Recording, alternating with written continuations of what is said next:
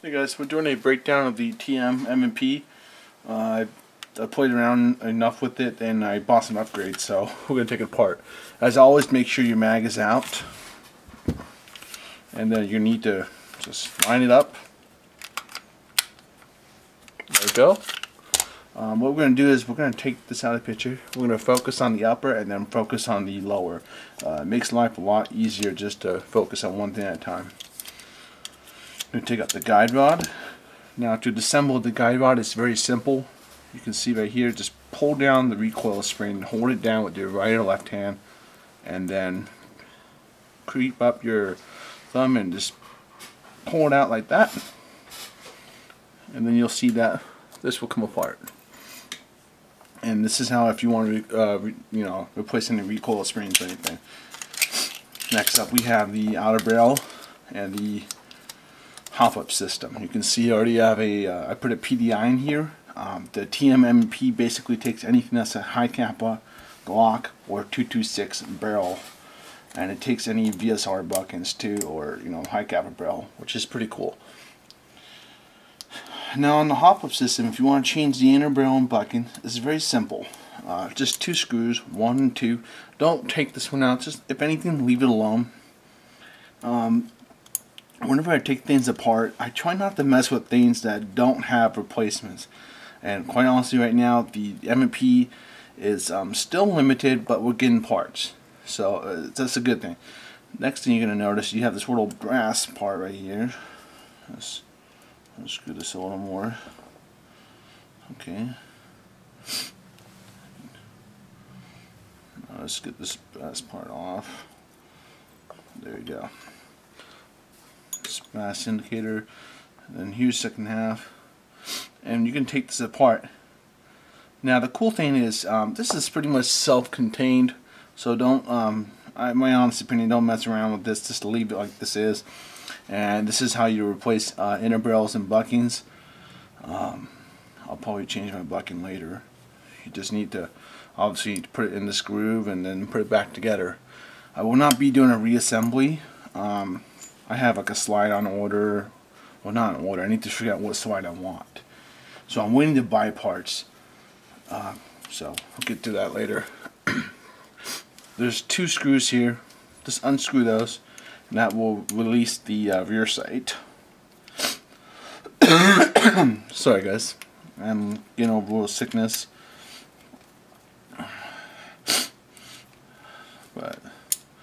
The upper is pretty straightforward, which is good. Uh, once again, two screws. Now, in order to take this apart, it feels like you're going to break it, but don't worry. Um, you need to pull it apart like you do for the TM Hi-Capas and uh, not the Glocks, just the TM Hi-Capas. Pull it apart and push it down from uh, from you can see with my index finger is sort of pushing the loading nozzle. But be careful with the loading nozzle. There are no replacements at the time of this video.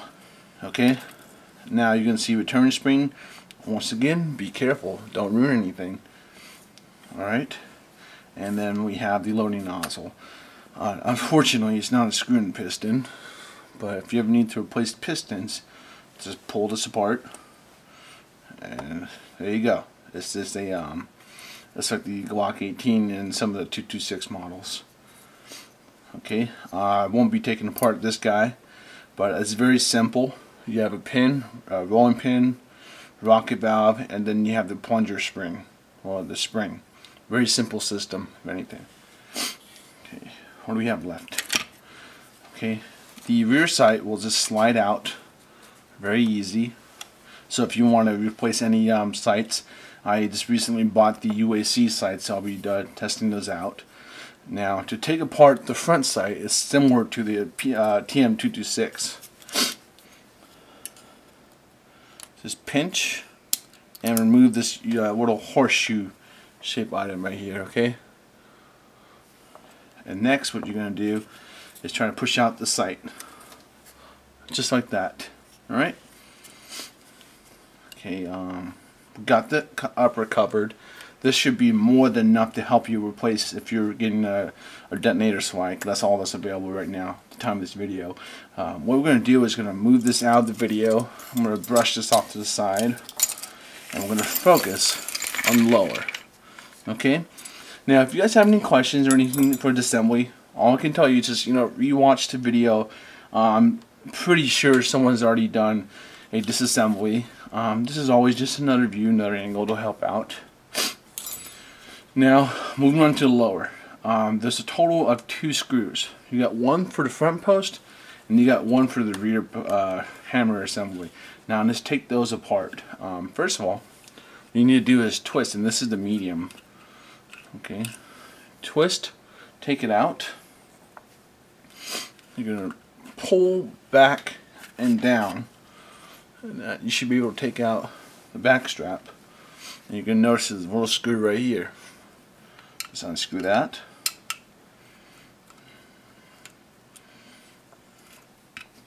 Now let's take uh, the front post out. The only thing I can tell you guys, don't really take this apart unless you need to fix anything or if you're replacing parts, realistically speaking, okay? Because this is a polymer frame and unfortunately uh, there's no aftermarket right now. So I'm, not sure if these will um, break over time like the Glock, but we'll see. The good thing is the screw on here is a pretty smart position. Alright, now we have three pins. One, two, three. Let's knock these out.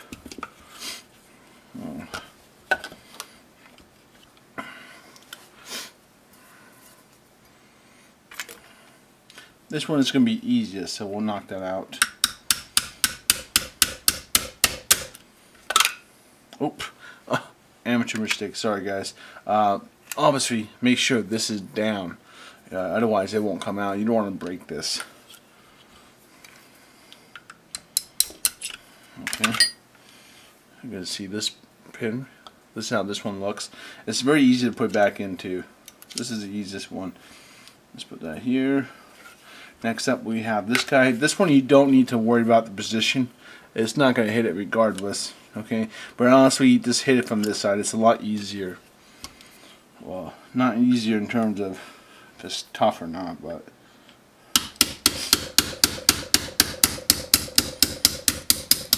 There we go. Okay, got one down. Let's move on to the next one in the in their hammer assembly.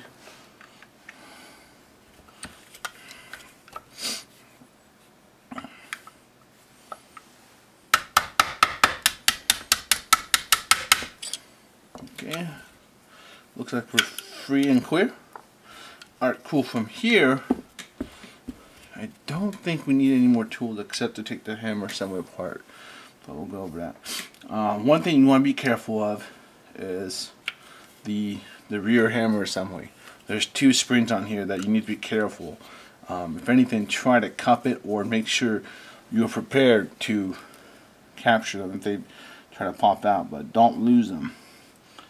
Okay, here's the first spring. You guys see it? Little gold part. There's one there the second spring is right here that's already trying to pop out. You see it? What I'm going to do is just grab it and pull it out so I don't lose it. I put it right here. You guys see that? You're going to need to take this out. And for now, I'm going to flip this over so it doesn't go anywhere, hopefully. And we'll come back to this later. First, let's work on this. This is easier than the hammer assembly. Alright just pull it up. The cool thing is it's literally a one piece. Alright, one more part. To get out the magazine release, there's going to be, it's, it's too dark on the camera, but literally just stick your finger in there. You'll feel like a spring in there and pull down and outwards. And you'll, it's going to unhook. So just pull out the magazine release from there, jiggle it out, and boom. So now you've um, completely assembled the uh, what do you call it? The grip. If you want to take out the name tag um, this little pin here I think that's how you actually take it out although I would have to test out myself. I'd probably just knock it out. Alright but let's get this out of the picture. We don't need this anymore. We'll move this guy up. This is the magazine release and the spring for it all the pins the screws let's work on this guy right now now, here's the spring in here. There's a spring right here. This is how it looks. let's take out this spring. Okay, there we go. Got that spring out. You can pull this out, no problem. Now all we need to do is just knock out the pin. I believe it is you have to knock it from this way, okay? And this let's see if I uh, remember correctly.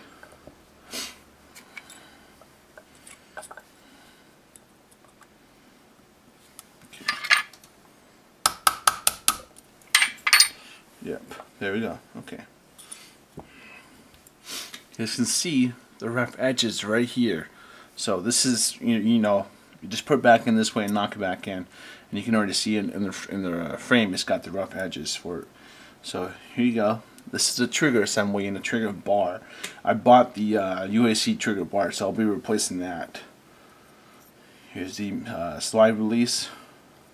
And there you guys go. The front is uh, disassembled now.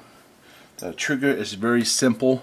The only thing I can tell you right now is do not bend this downwards.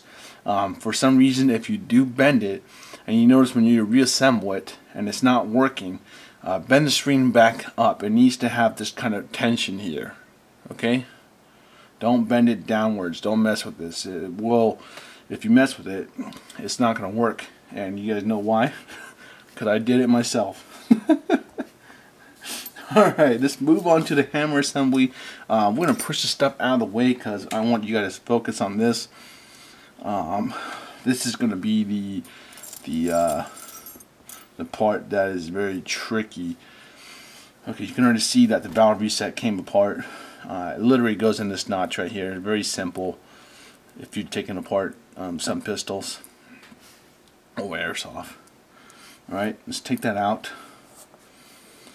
Um, I actually have a prototype UAC hammer set. I'm very excited to test out and try it. So that's what I'll be installing in here. But the safeties, uh, for those who are questioning, you can play without the safeties. I've already tested that, so you actually don't need the safeties, and I actually don't like the safeties. What you need to do is wiggle it and pull it, but you see, keep your hand on here. You don't want to lose the spring.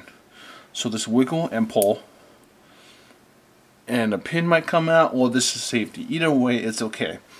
Alright, so let's get the safety right here. Now this guy, I'm going to try to pull downwards. Boom. Okay, so we didn't lose anything. We have the, the detent and the spring. And I'm going to put that in this little safety section right, right here. Okay, with the valve reset and spring. Now we have three screws. I'm not going to take apart this screw and I'll explain to you why so you guys can visually see how this is. But if anything, guys, don't forget to check the diagram or what they call the explosion diagram uh, of the TMM&P.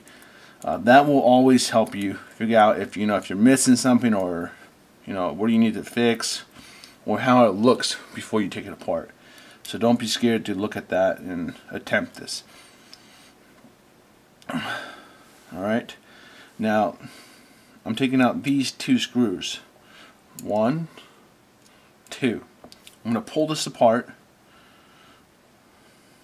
I'm going to try to keep it together for you guys, but we'll see.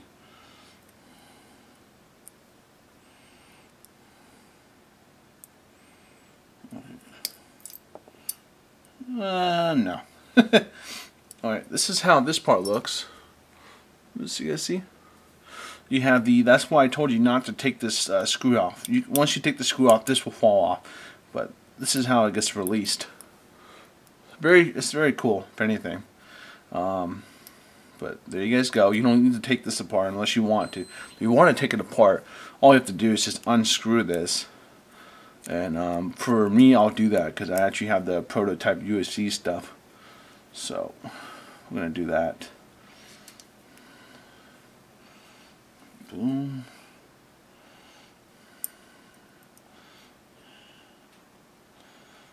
Okay, here we go. That's how that looks. Alright, we'll put that down here. Uh, this part I'll try to explain how it goes. Okay.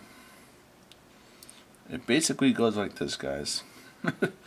the hammer spring goes right here. Am I doing this right? Yeah, okay, I'm doing this right. That's how the hammer spring goes. Let me see. Okay. And you see this is for the valve knocker. This is how this one goes. It has a little hole that you need to put in the spring. I need to hook the valve knocker on there. Uh, it's a little jumble jumble. But this part right here holds the hammer and the valve knocker. Okay, so you put in this little rolling pin through them both. And here's where the juggle comes in. you need to put the little strut thing, well not strut, pin in the hole while trying to get the valve knocker uh, you see the spring I'm not gonna do it on camera but you guys get the gist you have to get the hammer spring behind the hammer okay like that. I'll show you guys how that's supposed to go. This is how it's supposed to work the hammer. You see how I can push it it'll pop right back up? That's when you know how you when that's I'm sorry. That's when you know you have it right when it pops right back up. Okay? And then you need to get this little spring right here inside of this valve knocker. I wouldn't recommend trying to bend it to get in there um, but it's, it's easier if you just you know position it all right here and you try to push the valve knocker spring right here with your hand and then boom like sort of like I'm trying to do right now for you guys. Let's see if I can do it for you guys.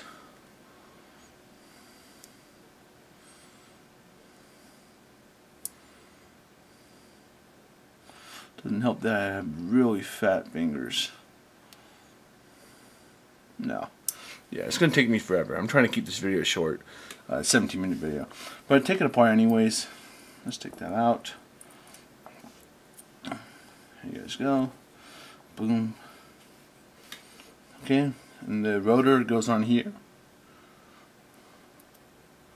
Just like that. No, that's not the right way. There you go. Alright guys. So if you have any questions, let me know. Um, I will not be doing a reassembly and I am ordering a bunch of stuff with the TM M&P to upgrade it and do it over time. So I'll be doing videos actually after this on, on the parts I bought and see if they work or not. So I will see you guys around. Uh, thank you very much. Have a good day.